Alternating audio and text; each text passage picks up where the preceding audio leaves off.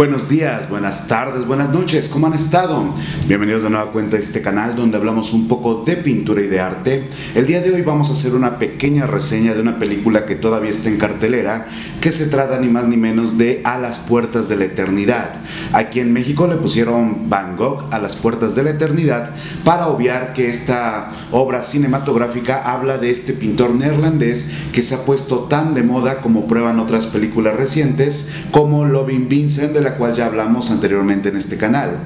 En esta película, A las puertas de la eternidad, vamos a tener un retrato de los últimos días de Vincent Van Gogh y el traslado que hace entre Arles, Saint-Rémy y Arroy-sur-Roi, perdonen mi francés. Estos lugares que significaron tanto para la obra final, para esta última etapa creativa de este pintor, ya que pintó algunos de los cuadros más famosos, también los más reconocidos, y tuvo estos periodos de crisis que tuvieron que ver tanto con su relación con otro pintor como es Paul Gauguin, como aquellos sucesos que detonaron su supuesto suicidio o no, vamos a ver esto, en el año de 1890. Esta película es dirigida por Julian Schnabel y es protagonizada por William Dafoe como Vincent Van Gogh, un actor que vamos a recordar en películas como Spider-Man haciendo del Duende Verde. Oh o la versión de Netflix de Edith Naut, un actor muy polifacético como podemos ver, que en esta ocasión nos ofrece una mirada a un Van Gogh lleno de presiones, lleno de angustias, que va relacionándose poco a poco con su certeza respecto a su propia importancia en las artes. También actúa Rupert Fried como el hermano de Van Gogh, Theo, este personaje siempre leal, el actor no lo ubicó mucho, Man Mikkelsen como un sacerdote que hace una extraordinaria aparición, casi casi un cameo, este actor famoso por, entre otras cosas, protagonizar el villano de El Doctor Strange, pero también el Hannibal de la serie, el mejor Hannibal, si me preguntan a mí. Y claro que sí, Oscar Isaac como Paul Gauguin, un actor que tal vez no le suene de nada, pero que hace también una aparición. Pero realmente el protagonista indiscutible de esta película es Dafoe, con esta representación de el Van Gogh viajero, del Van Gogh que sufre particularmente el bullying de la sociedad en la ciudad de Arles y que va a desembocar en los fatídicos sucesos que llevaron a su muerte. Pero ¿de qué va a las puertas de la eternidad? El director describe esta película del siguiente modo. Esta es una película sobre la pintura y un pintor y su relación hasta el infinito. Es contada por un pintor, contiene todo lo que sentí, que eran los momentos esenciales en la vida de Van Gogh. Esta no es la historia oficial, es mi versión, una que espero que los haga sentirse cercanos a él. Esta premisa del director nos va a ayudar mucho a comprender esta producción, estos planos tan grandes. De hecho, la primera escena es un golpe de luz en la cara que te deja un poco sorprendido, que te deja un poco desubicado y que se va a desarrollar por medio de una cámara inestable con continuos movimientos erráticos y una paleta de color constantemente saturada que puede resultar incluso molesta, pero que busca darle al espectador esta impresión de cómo es que Van Gogh percibía la vida. Esto también se va a acentuar con las diferentes tableau divans que van a representar algunas pinturas célebres, pero también con la apariencia, con el vestuario de los personajes que recrean aquellas visiones que tenemos de la vida de Vincent en sus pinturas y en las pinturas de otros contemporáneos como es el caso de Paul Gauguin. Estos abrigos muy pesados de colores chillantes, verdes, azules, que busca tener una visión pictórica y psicológica de este artista. Por el otro lado, lo que tenemos es un relato casi en primera persona que se va aderezando con diferentes notas reales de diferentes actores en la vida de Vincent, como es el caso de Gauguin, y que explora esta relación de Vincent con su hermano, con Paul Gauguin, con sus vecinos y cómo es que continuamente se siente rechazado, exiliado, algo que es acentuado constantemente con secuencias larguísimas de Vincent caminando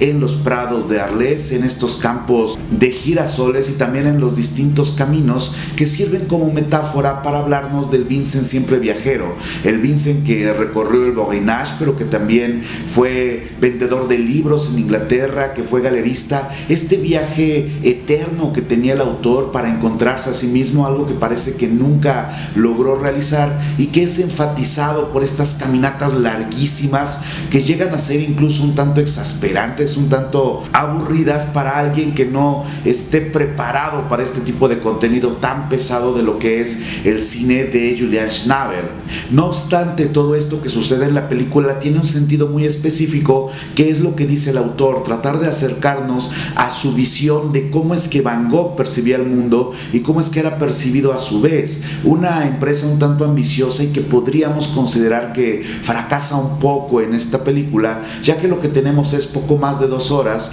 de planos largos, silencios que llegan a ser incómodos, escenas donde Dafoe muestra su beta actoral dramática, pero que también nos va a crear cierta incomodidad al ver un Van Gogh tan frágil, un Van Gogh que se dobla constantemente, que suena incluso un poco berrinchudo de repente y que nos va a confrontar con la idea de Van Gogh que tengamos cada uno. Por ejemplo, en mi caso yo tengo la idea de un Van Gogh que cuando se estudia su vida es un tipo sí sensible, sí bastante dramático, finalmente probablemente un enfermo mental, un esquizofrénico, pero que constantemente estaba confrontando la vida, confrontando las situaciones de su vida con su propia pintura. En el caso de la visión de Schnabel, lo que tenemos es un Van Gogh sensible que se siente constantemente herido y acosado y que va replegándose sobre sí mismo debido a esto, que recibe las ofensas sin protestar y que depende evidentemente de su hermano, pero no solo a un grado económico, sino también a un grado emocional,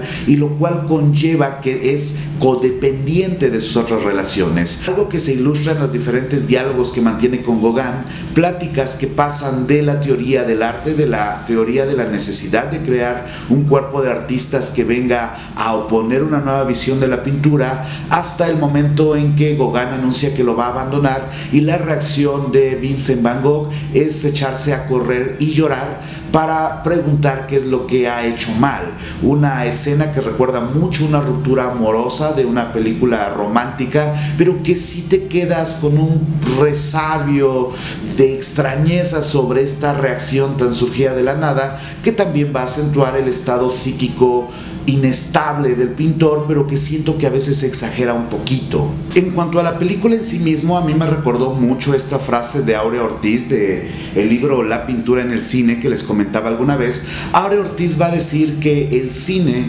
siempre ha envidiado a la pintura, siempre ha envidiado su capacidad de contar historias inmediatamente, su capacidad estática y a pesar de ello de retener cierta temporalidad propia dentro de la pintura y su capacidad de evocación de emociones y valores. Creo que esta película ilustra muy bien esta frase de, de Ortiz porque es evidente que Julian Schnabel está tratando de hacer una pintura a partir del cine, una pintura que se mueve pero que busca tener esta relación emocional con los espectadores, que da golpes visuales muy fuertes que nos dejan abrumados de repente, pero que también tiene esta pesadez de el cine cuando trata de ser estático, cuando trata de tener planos extensos muy propios del cine de arte, pero que siento que no están tan bien utilizados. Otro detalle muy peculiar es que si sabes algo de la pintura de finales del 19, de los medios, de los óleos, vas a encontrar un sinfín de errores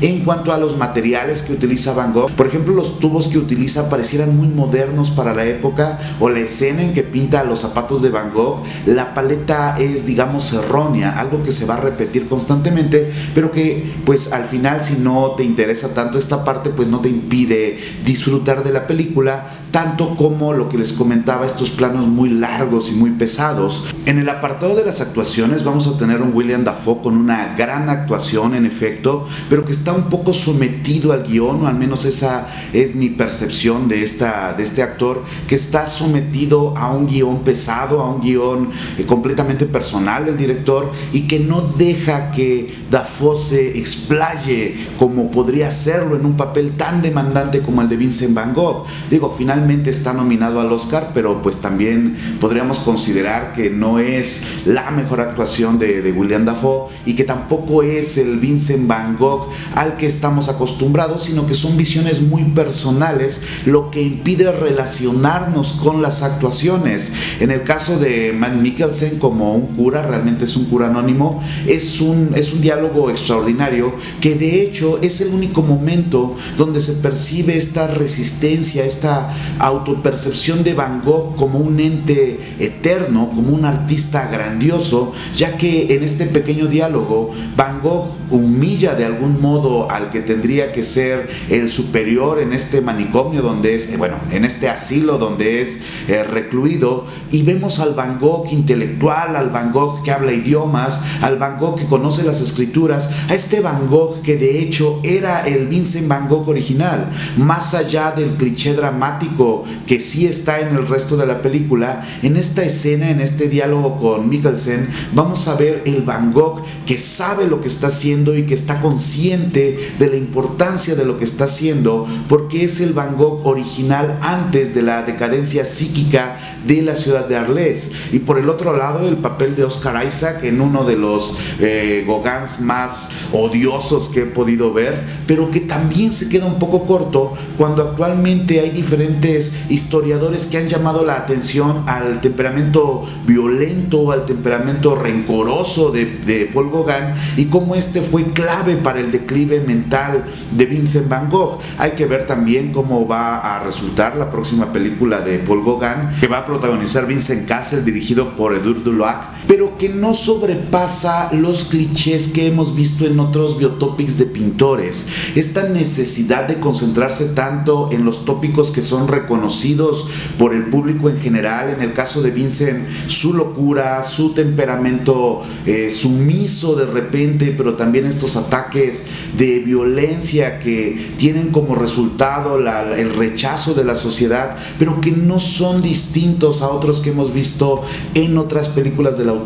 Probablemente en la versión de Julian Schnabel lo que hay que llamar la atención es la fotografía, es una fotografía alucinante, si acaso algo pesada, pero la fotografía es espectacular, las paletas de color son alucinantes, especialmente si te gusta la pintura. También la actuación de Dafoe como Van Gogh es, de, es remarcable, insisto, no creo que sea la mejor, tampoco creo que sea como para ser nominado al Oscar, aunque esta nominación de los Oscars está muy rara, pero no sobrepasa a otras producciones que hemos visto, qué sé yo, El Ojo del Cabello Rojo, la misma Loving Vincent, y también es de llamar la atención que esta película está basada de algún modo en la obra de Naife y Whit Smith, esta, este libro de Van Gogh La Vida, que va a promover la teoría de que Vincent Van Gogh no se suicida. Spoiler, eh, Van Gogh muere al final, espero que no les extrañe. Realmente hay como pocos destinos a donde puede ir esta película, pero la diferencia es que en este caso la película de Schnabel hace uso de esta teoría de estos autores, de White Smith y Steven Neiffer, y que nos va a dar un giro, un eh, plot twist final, como Van Gogh encuentra su muerte, lo cual tampoco se siente que profundice mucho en la personalidad de artista, es decir, es una muestra actoral, pero que se siente muy aislada entre sí. No hay una estructura que dé profundidad al personaje, sino que apela a nuestra propia percepción que tenemos de Vincent Van Gogh. Si tú vas a ver esta película y no conoces la vida de Van Gogh, va a ser un poco confusa, un poco extraña de entender qué está pasando y por qué Van Gogh se comporta así. En cambio, si tú eres un gran conocedor de la obra de Vincent Van Gogh, vas a sentirte un poco confrontado por la visión personal de Julian Schnabel al tener nosotros nuestra propia visión personal de Vincent Van Gogh. Yo creo que la película no supera a Loving Vincent, tampoco aporta demasiado a la mitología de Van Gogh y tampoco da demasiados datos reales para relacionarnos con un Vincent Van Gogh más humano, más cercano,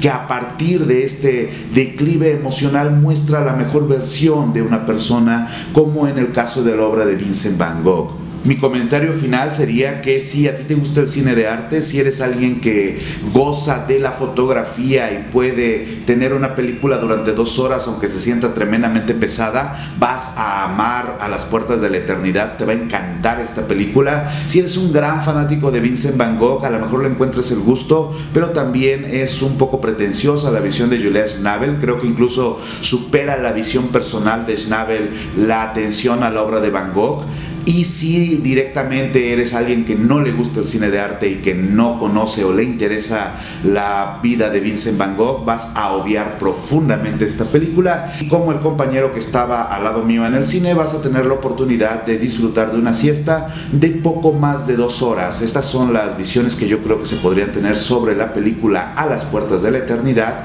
No obstante, como ejercicio visual, creo que sí podríamos verla. Y finalmente pienso que lo mejor de la película es este pequeño momento entre William Dafoe y Matt Mikkelsen que creo que es el Van Gogh que nos hubiera gustado ver a lo largo de toda la producción. Les invito a que me sigan en mi página oficial, en mis redes sociales, que si quieren apoyarnos lo hagan vía Patreon o vía PayPal. Y también les recuerdo que cuando lleguemos a los 50 mil suscriptores voy a subir un video con mi opinión sobre el